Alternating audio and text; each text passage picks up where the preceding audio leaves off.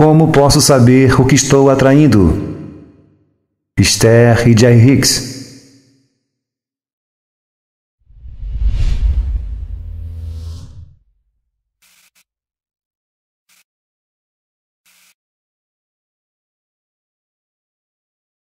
Você nasceu com o conhecimento natural de que você cria sua própria realidade.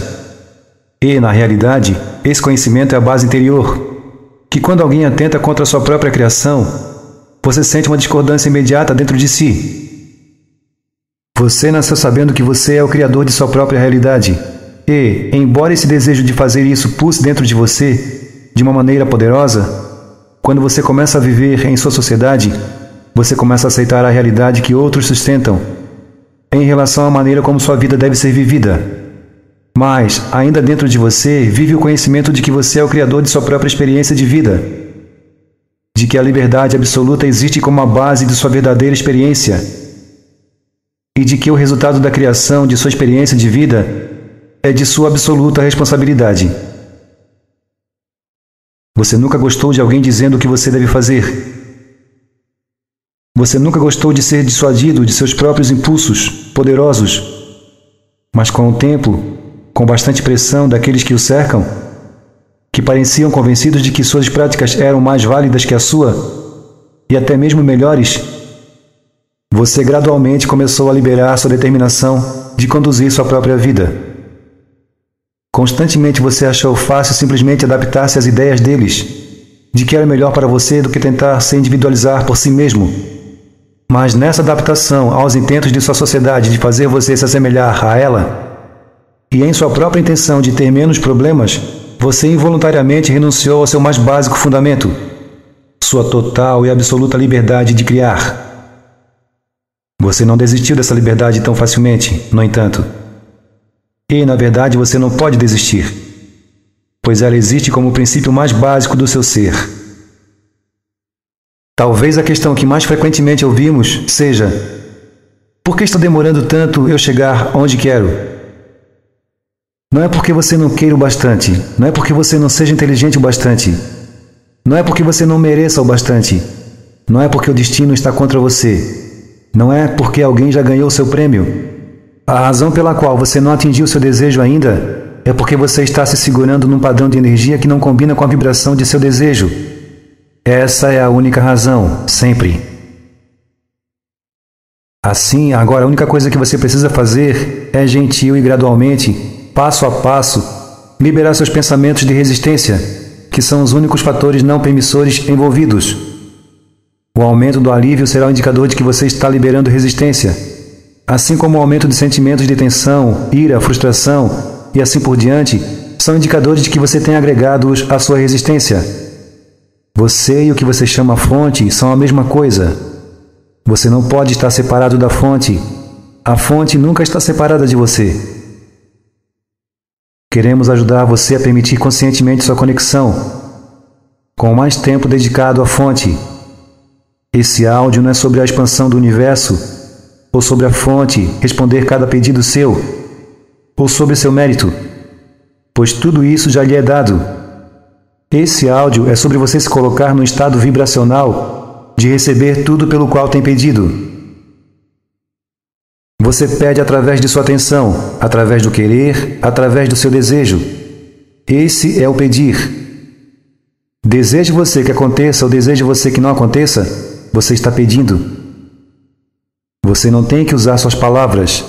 Você tem apenas que sentir em seu ser: eu desejo isso, eu adoro isso, eu aprecio isso e assim por diante. Esse desejo é o começo de toda a atração. É nosso desejo que você se torne alguém feliz com o que você é e com o que você tem, ao mesmo tempo em que se põe ansioso por mais. Essa é a vantagem favorável da boa criação. Estar na iminência de que está para acontecer, sentir-se entusiasmado, em excitada antecipação. Sem impaciência, sem duvidar, sem achar-se desmerecedor, pois esses são impeditivos do estado da recepção. Para o que você tem dado a sua atenção? Independente de para o que você está dando sua atenção, isso faz com que você emita uma vibração. E as vibrações que você emite se assemelham a seus pedidos, que se assemelham a seu ponto de atração. Se há algo que você deseje e ainda não tem, coloque sua atenção sobre isso e, pela lei da atração, isso virá para você. Contudo, se há algo que você deseje e ainda não tem, e coloca sua atenção em estado de não ter, então a lei da atração continuará a combinar-se com esse estado de não ter vibracional, e você continuará não tendo aquilo que deseja.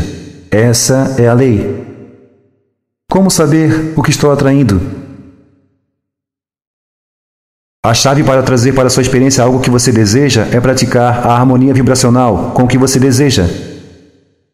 E a maneira mais fácil de praticar a harmonia vibracional com desejo é imaginar-se tendo o que deseja, imaginando que o que você deseja já está em sua experiência. Fazer fluir seus pensamentos ao encontro do prazer da experiência. E conforme você pratica aqueles pensamentos e começa a consistentemente oferecer aquela vibração, você estará no estado de permitir aquilo em sua experiência. Agora, através do ato de prestar atenção à forma como você se sente, você pode facilmente saber se você está dando atenção ao seu desejo ou se está dando atenção à ausência do que deseja. Quando seus pensamentos são vibrações similares ao seu desejo, você se sente bem. Sua escala emocional pode variar do contentamento à expectativa do prazer. Mas se você está dando sua atenção à falta ou à ausência do seu desejo, suas emoções vão variar dos sentimentos de pessimismo para a preocupação, para a ira, para a insegurança, para a depressão. Suas emoções proporcionam um maravilhoso sistema de orientação para você. E se você prestar atenção a elas, você será capaz de guiar-se para qualquer coisa que deseje. Você recebe aquilo no qual pensa, queira ou não. Pela poderosa lei universal da atração, você traz para sua vida a essência de qualquer coisa em que pense predominantemente. Se você predominantemente pensa sobre coisas que você deseja, suas experiências de vida refletem essas coisas. E da mesma forma, se você predominantemente pensa sobre o que você não quer, suas experiências de vida atrairão aquelas coisas. É como quando você planeja um evento futuro. Quando você está apreciando, você está planejando. Quando você está preocupado, você está planejando. Preocupar-se é usar sua imaginação para criar algo que você não quer. Cada pensamento, cada ideia, cada ser, cada coisa é vibração. E quando você foca sua atenção em alguma coisa, mesmo por um período curto de tempo, a vibração de seu ser começa a refletir a vibração daquilo para o qual você está dando sua atenção.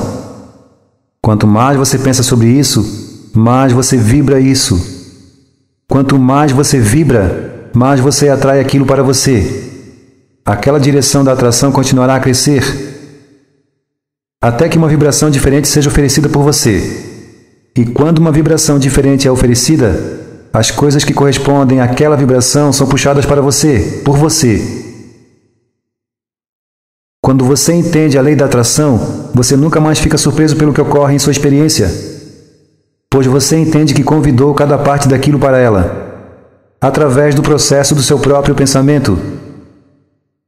Nada pode ocorrer em sua experiência de vida sem seu convite, que acontece através de seu pensamento. E uma vez que você entenda que você obtém aquilo no qual pensa, é igualmente importante. Quando você está consciente dos seus pensamentos, então você está na posição de exercitar absoluto controle sobre sua própria experiência. Locução Anderson Motreanjo